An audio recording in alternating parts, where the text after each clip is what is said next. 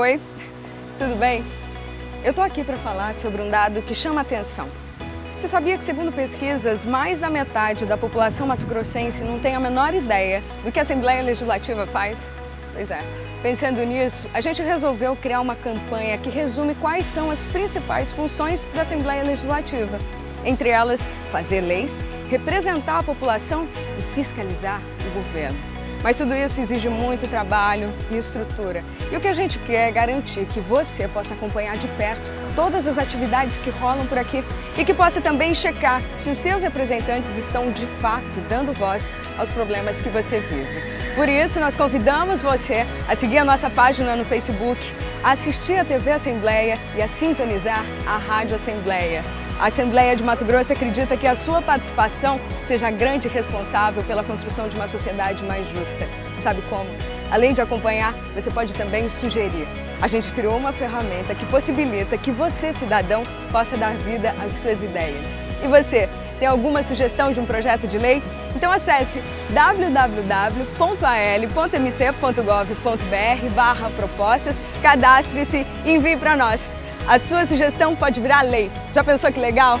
Na Assembleia Legislativa é assim. Você participa, a mudança acontece.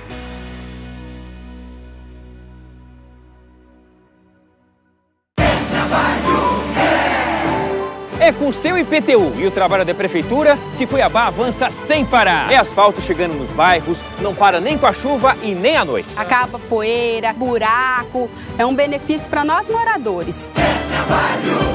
É mutirão da limpeza, é catatreco e a cidade ficando mais limpa e mais linda. Para todos os lados que você vai, você vê que tem limpeza, que tem trabalho. É trabalho recorde na educação infantil. Em um ano, 1.200 novas vagas no CEMEIS. E novas unidades entregues. Residencial Francisca Loureiro Borba, Santa Terezinha e Altos da Serra.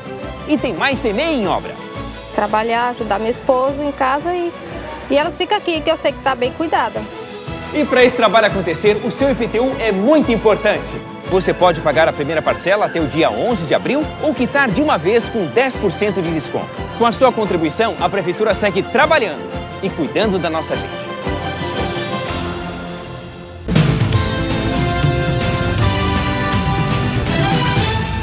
Olá, o Conselho Regional de Engenharia e Agronomia de Mato Grosso está fazendo fiscalizações em todo o estado. Já foram visitados 85 municípios. Nós vamos conversar sobre este assunto com o gerente de fiscalização do CREA, Jackson Paulo da Conceição. Obrigada pela sua presença aqui, por ter aceito o nosso convite. Nós é que agradecemos. É uma forma da gente estar divulgando o nosso trabalho. Bom, que, o que são essas fiscalizações, Jackson? O CREA fiscaliza o exercício profissional, né? Então, nós é, atuamos em todo o estado do Mato Grosso, verificando se os empreendimentos fiscalizados pelo sistema Confea-CREA existem os profissionais habilitados para estar prestando serviço com qualidade. Uhum. É, dentre esses municípios que vocês já é, passaram, que irregularidades vocês encontraram? As maiores irregularidades encontradas são a falta de participação profissionais né, na, nos empreendimentos, uhum. as faltas de identificação profissionais, a falta do registro da ART, que é a anotação de responsabilidade técnica. Uhum. Então esses são os, é, os problemas mais corriqueiros que a gente encontra. Uhum. Quando vocês chegam no município, como é que vocês fazem isso? Vocês vão fazendo visitas na cidade ou vocês fazem contato com alguma autoridade é, municipal? Como é que é feito?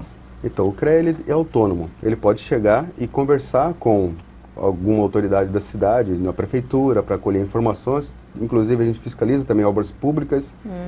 Então, a gente vai, é, entrega nossos ofícios, né, para que eles nos forneçam os, é, as informações necessárias para que a gente possa fiscalizar o município, né, uhum. os empreendimentos do município. Vamos direto na, nas obras da cidade, nos empreendimentos, na, nas empresas, nas vendas de agrotóxicos, nos postos de combustíveis, nos hospitais. Uhum. Então, é, nós temos aproximadamente 309 profissões regulamentadas no sistema. Uhum. Então, o nosso trabalho é bastante complexo. No caso das obras públicas, por exemplo, certamente é obrigatória a presença até por, sei lá, por licitação, por normas que são mais rigorosas do poder público, né? Vocês chegaram de encontrar uma obra pública sem profissional ou sem a RT, por exemplo? Acontece. Às vezes o profissional por algum esquecimento, ele deixe de fazer algum registro. Mas geralmente as licitações elas já pedem que haja esse profissional habilitado. O que acontece quando a pessoa ela é fiscalizada e vocês descobrem então que faltam esses requisitos? A gente faz a autuação, né, autua para que ela contrate um profissional habilitado. Tem algum tipo de, de multa, alguma sanção? Sim, a, a autuação já é uma, uma sanção. Ela regularizando, ela pode solicitar o cancelamento dessa multa ou a sua diminuição para o grau mínimo. Uhum. A gente sabe, e já, já tivemos aqui em Cuiabá histórias assim de obras públicas que tiveram sérios problemas, principalmente algumas obras da Copa, né? E a gente está vendo na cidade algumas correções dessas obras. E a gente sabe que o CREA é assim, é uma das instituições de maior credibilidade no, nesse quesito. Né, relacionado à, segurança da obra, à, à questão de, do planejamento, da forma como ela está sendo feita. É, vocês acompanharam esse trabalho também dessas obras da Copa aí que tiveram que ser corrigidas? Sim. É, o CREA foi um dos únicos órgãos que fiscalizou efetivamente. Uhum. Nós temos os relatórios, inclusive a gente foi até convidado a sair da Secretaria Secopa por conta disso, de tanta fiscalização que a gente estava estava fazendo. Uhum. Então, um dos maiores problemas que nós é, é, verificamos foi que muitos profissionais vieram de fora. Né? Então, ele não conhece a nossa realidade, não conhece o nosso solo. E como era uma obra rápida, praticamente emergencial, todos vieram, fizeram aquela situação bem rápida.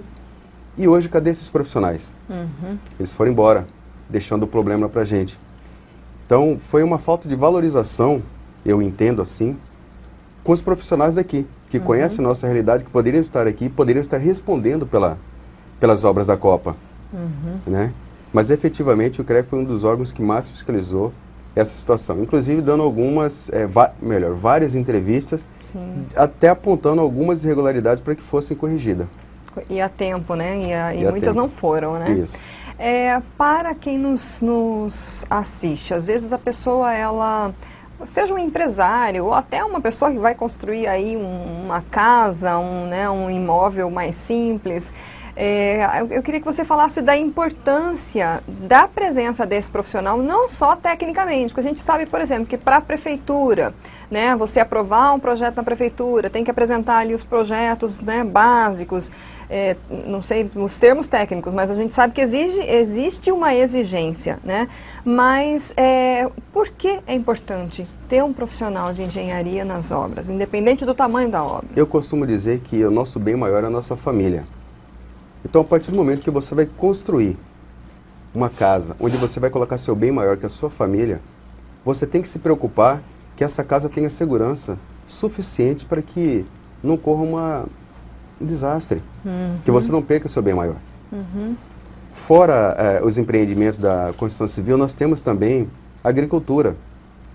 Eh, qual a quantidade de veneno que é colocado nesses produtos que nós estamos ingerindo?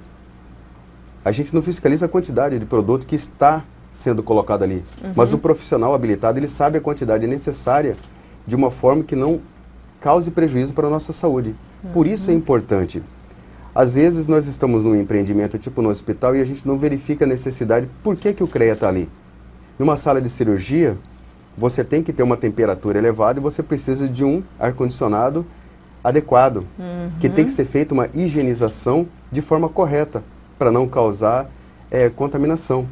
Então a gente está ali verificando se existe esse profissional fazendo esse serviço. Né? Nos postos de combustível tem o teste de estaquineidade, que é um, um teste para ver se não está vazando o combustível para o lençol freático.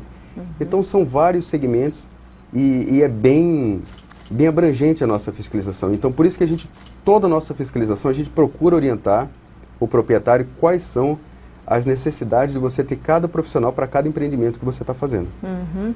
É, existe algum tipo, por exemplo, de denúncia, não sei, volume, relacionada a- ao profissional que ele faz o projeto, ele apresenta toda a parte né, que é necessária para ser aprovado na prefeitura, conseguiu o alvará da obra, mas ele não acompanha a obra. E aí, às vezes, fica só o que a gente chama só assinando. Isso é, é, é, é uma irregularidade também? Existe isso? Isso acaba sendo um, um acobertamento. Se você resolve fazer um empreendimento e alguém, um profissional resolve só assinar para você e nunca mais aparecer, ele só está acobertando de uma forma que a obra ele registrou, mas não acompanhou. Né? Então a gente tem que se preocupar com isso também. Né?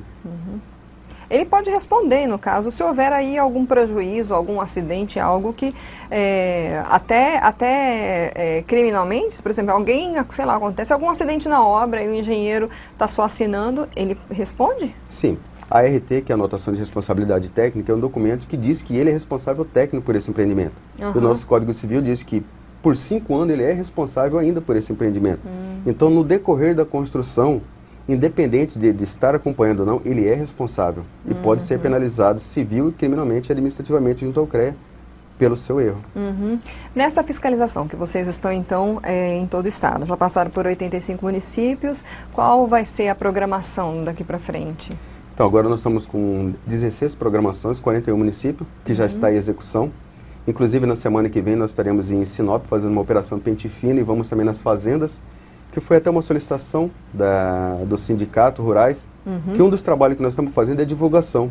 Nós queremos até agradecer a oportunidade de vocês de nos dar essa abertura, porque nós fazendo essa divulgação, a gente conscientiza a população e ela regulariza de uma forma antecipada, evitando com isso as autuações. Porque o desejo do CREA não é fazer a autuação, é fazer com que as pessoas se conscientizem e tenham profissionais habilitados para o seu empreendimento. Com isso, fazendo com que a cidade cresça de uma forma ordenada. Né? Uhum, uhum. A gente vê às vezes na internet é, imagens né, de casas, de, de, de sobrados. Teve uma recentemente que caiu porque estava tão irregular. É, é, esse, tipo, esse tipo de situação, por exemplo, família às vezes quer fazer aquela obrinha, vai aumentando, vai um puxadinho, não sei o quê, e aí corre esse risco, né? Há a possibilidade, por exemplo, de ser, hum, ser feita a fiscalização, ser feita uma denúncia e a pessoa ter que derrubar o que ela fez de, de, de reforma ou de obra? Pode acontecer. Essa situação já vai mais voltado para a defesa civil e para Ah, o município, né? Mas o que, que acontece geralmente? A pessoa ela começa a construir e acha que é mais barato você construir sem um profissional. É, um, é um engano. Porque o profissional ele vai fazer o cálculo estrutural, ele vai ver se a- o terreno suporta, porque não é só você fazer uma base e construir em cima. Você tem que ver se o terreno vai suportar o peso da sua casa. Porque senão ela pode dobrar e cair, que é o que vem acontecendo. Então, por isso a importância de você contratar um profissional, ele vai fazer todos os projetos complementares, vai ver se tem condição de, de- vai ter eh, ventilação suficiente na casa, se o terreno vai aguentar, para você ter uma casa eh, segura. Então, e, e com isso você economiza também muito eh, material, que às vezes você coloca um material eh, mais rígido, mais forte, um ferro mais grosso, por exemplo, num- numa determinada estrutura, sendo que precisa ser um ferro um pouco Sem mais fino, porque é do né? balanço que tem que ter. Toda estrutura extremamente rígida, ela quebra. Uhum. Então ela tem que ter a flexibilidade e o profissional habilitado, ele sabe disso. Então, assim, por exemplo, um excesso de ferro ele pode virar até problema também, um vício no- na, na construção. Com certeza. Uhum. Bom, para a gente encerrar, Jackson, como é que as pessoas podem denunciar situações irregulares em todas essas questões que você falou aí em todo o estado, na verdade? Isso, nós temos o nosso site, né? Uhum. E temos o link lá da ouvidoria, é ouvidoria tracinho mt, Ouvidoria arroba... desculpa, ouvidoria CREA, né? arroba tracinho mt.org.br. Aham, E temos e- também o telefone 3315 3030. Uhum, tá ótimo. Muito obrigada pelas suas informações e boa sorte aí, sucesso nos, nos, né, nas fiscalizações em todo o estado. A gente sabe que é um trabalho árduo aí, mas importante, né? Sim, nós é que agradecemos a oportunidade estamos à disposição quando vocês precisarem. Obrigada. Nós conversamos com Jackson Paulo da Conceição, que é gerente de fiscalização do CREA, o Conselho Regional de Engenharia e Agronomia, que está fazendo com sua equipe uma série de fiscalizações em todo o estado. Já passaram por 85 municípios e aí ele passou aqui para a gente, eh, já tem 16 previstos, fiscalizando todas as áreas possíveis, hospitais, postos de combustíveis, além, claro, de obras, não só obras particulares, obras públicas, eh, eh, na área da agronomia também. Então, você que está aí no interior do estado, que a gente sabe que o site RD News tem bastante audiência no interior, se você tiver denúncias a fazer ao CREA de irregularidades em obras, eh, vou repetir aqui o, o contato da ouvidoria, é ouvidoria.crea-mt e o telefone para denúncias 65 3315 3030, o telefone do CREA para denúncias. Você pode também curtir e compartilhar essa entrevista, ajudar a divulgar essa informação. Essa entrevista está disponível no site RD News, no YouTube e também no Facebook. Até a próxima.